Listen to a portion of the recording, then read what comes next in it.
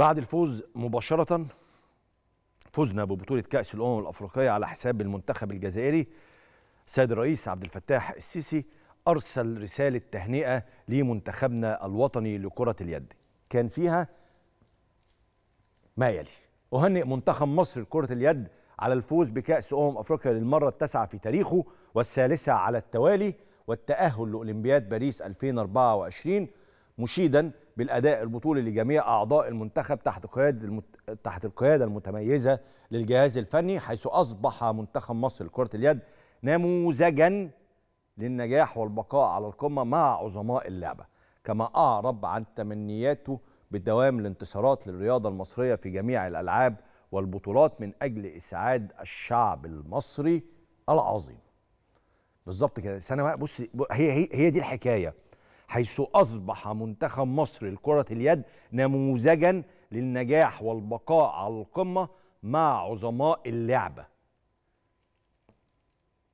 زي ما قال سيادة الرئيس عبد الفتاح السيسي في رسالته رسالته اللي فيها تهنئة لمنتخب مصر لكرة اليد إنه المنتخب ده منتخب كرة اليد مش ده بس ده واللي قبله واللي قبله واللي قبله.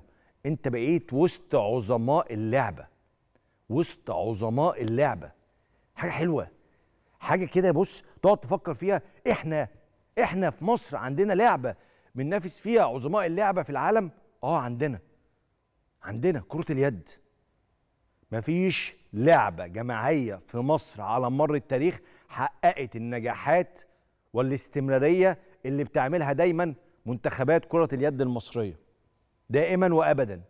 بصراحة يعني. مرة مليون ألف مليون مبروك لمنتخبنا الوطني لكرة اليد. حلاوتهم حلاوتهم والله إن هم دايما مفرحينا بص لحظات نادرة جدا إنك تزعل فيها مع منتخب مصر لكرة اليد.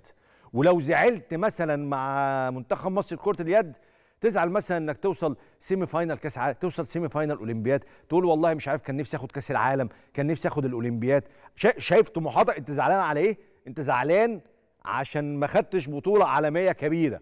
بس انت دائما وابدا منافس على البطولات العالمية. اللعبة الوحيدة اللعبة الجماعية الوحيدة في مصر اللي لما بنشارك في بطولة عالمية فيها ما بنقولش نبحث عن التمثيل المشرف.